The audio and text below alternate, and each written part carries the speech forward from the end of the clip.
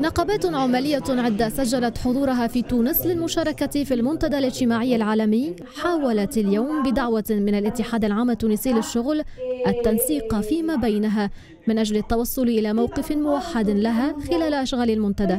من أهم الأشياء التي سنتناولها وسنعمل على آه، تضمينها والانتصار لقيمها على مستوى هذا المنتدى. تتعلق بالعدل الاجتماعي تتعلق بالحريات النقابية تتعلق بحقوق المرأة تتعلق ب حق تقرير المصير الشعوب وخاصة شعبنا العربي الفلسطيني. وهذه مسألة على غاية من الأهمية. قضية أيضا الانتقال الديمقراطي وكل هذه القضايا الرئيسية قضية الهجرة مناهضة العولمة هي العنوان الأبرز الذي يتصدر جدول أشغال المنتدى نظرا لتعارضها مع العدالة الاجتماعية حسب مناهضيها. لكن بعض النقابيين يرون أنها حقيقة مجبرون على التعايش معها لكن مع حتمية تنظيمها.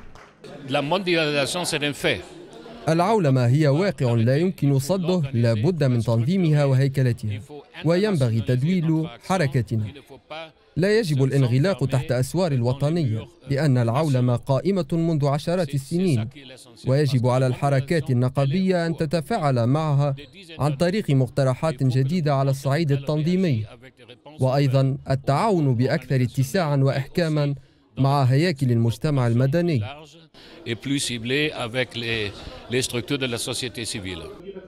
المشرفون على المنتدى ينتظرون مشاركة أكثر من 30 ألف شخص من دول مختلفة يمثلون حوالي 4000 جمعية وحركات عالمية لمناهضة العولمة.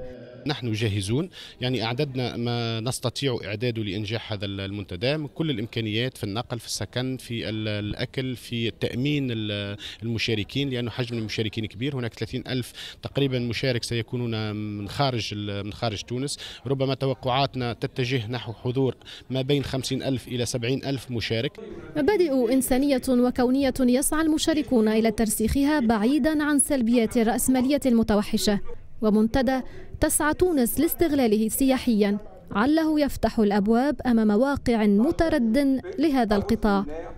إنس بوصعيدي قناة المتوسط تونس.